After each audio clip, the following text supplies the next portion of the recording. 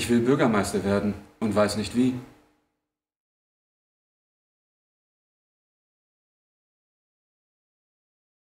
Zahnpasta. Das schmeckt jedem.